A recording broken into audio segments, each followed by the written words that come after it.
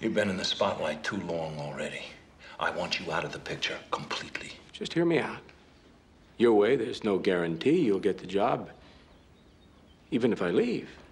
You gone, I don't see any problems at all. It isn't gonna be easy. With the following I have, you're gonna need me to pull this off. I'll have to find a valid excuse to leave the show. Well, you're a very creative person. I'm sure you'll think of something. Well, it'll have to be something that the brass will buy. Especially if I'm going to tell them you're going to take over.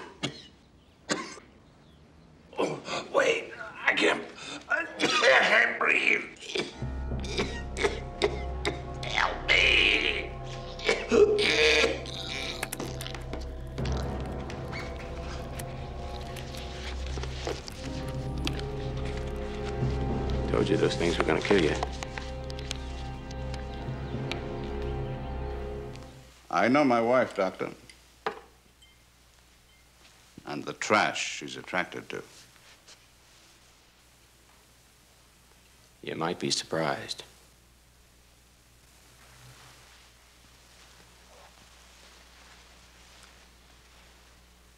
Now you get your coat.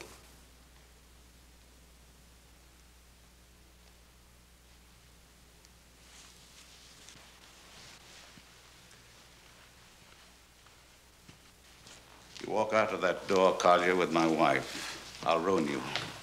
I'll go to the university, tell them about the drugs you're using, about the carnal relations you had with a patient, my wife.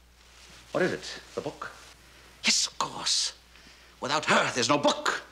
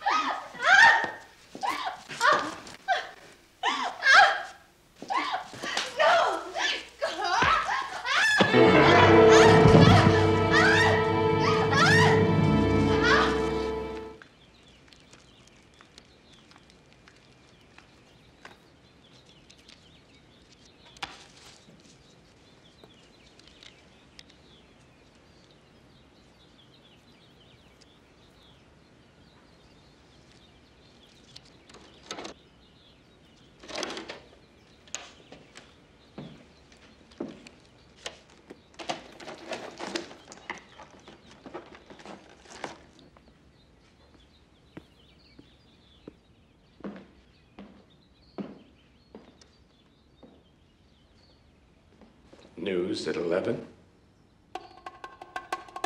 Why don't you ask her to submit to a lie detector test? Lie detector. test? Sure. Well, that's not admissible in court. Well, it's not a question of being admissible in court. I'm talking about for you. If you actually believed that she was innocent, then you could turn your full energies to finding the real murderers. That's a very good idea, sir, but there's no way that I can force her to submit to such a test. Well, let me ask her. She trusts me, and if I advise it, I, I, I think she'll take it. And you think that she'll pass such a test? I Stake my reputation on it. Now, the lie detector test does nothing more than show your reactions to a series of questions. If you really believe you're telling the truth, that's what the test will show. And through hypnosis, I can make you believe that story so no one can dispute it. It's merely a matter of post-hypnotic suggestion. Will it work? Of course it'll work. You've always been a good subject. I took the liberty of bringing along the drug.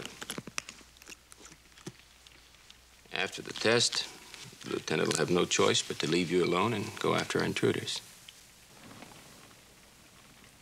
It's frightening, Mark. What choice do we have? The longer the lieutenant digs into this, the greater the risk. We have to convince him now that he's wrong about you. Trust me, darling. Trust me. Am I stupid? I must be missing the point. Well, you can see, sir, that these two cigarettes were put out in two completely different ways.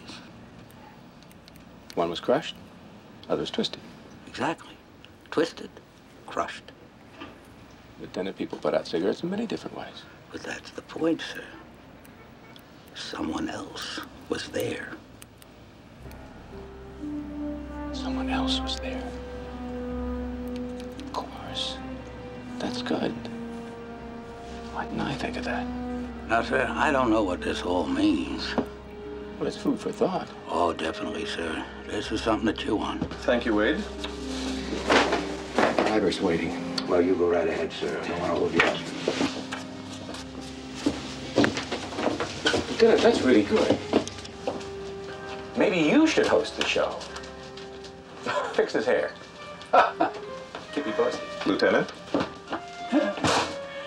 Uh, he's got a great sense of humor. Yes, he does.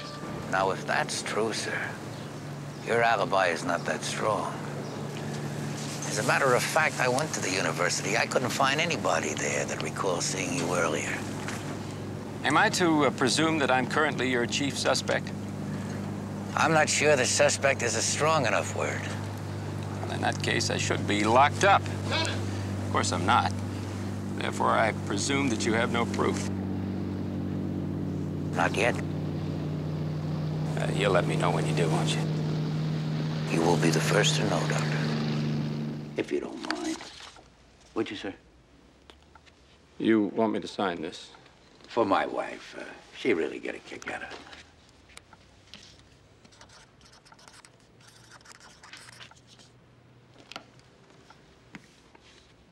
You were saying something about a medical examiner's report. Hmm? Oh, yeah. Mr. Clark died of nicotine poisoning. Nicotine poisoning.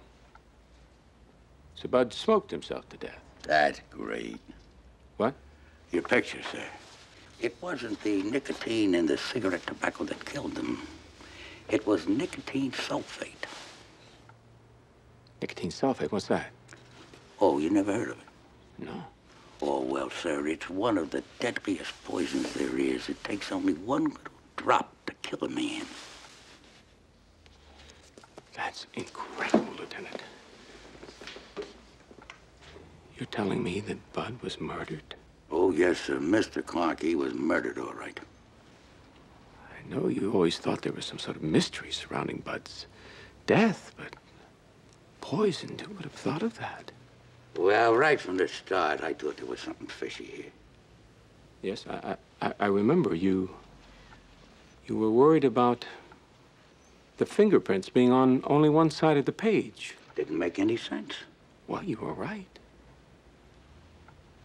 And now it appears, at least to me, that somebody must have placed Bud's hand on that paper. The murderer. Have you got anything or not? I have a telephone call. What phone call? You called her.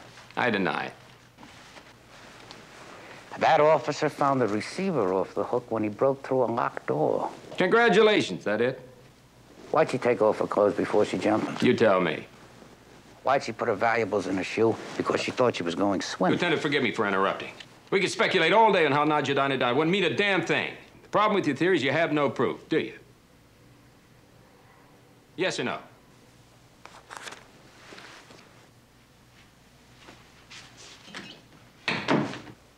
You're under arrest. What for? Murder. You better have a warrant. I have it.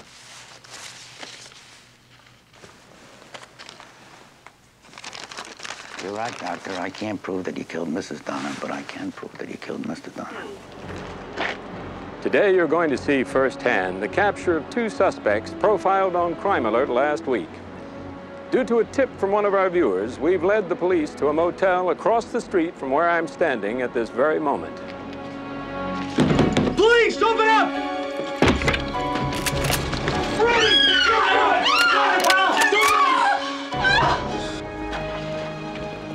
Barbara Baylor conspired with Duke DeMarco to kill her husband for the $500,000 insurance policy on his life. I want to thank the viewers who watch our show. Because of you, criminals like Barbara Baylor and Duke DeMarco can be taken off our streets. That's a wrap. Just one more thing.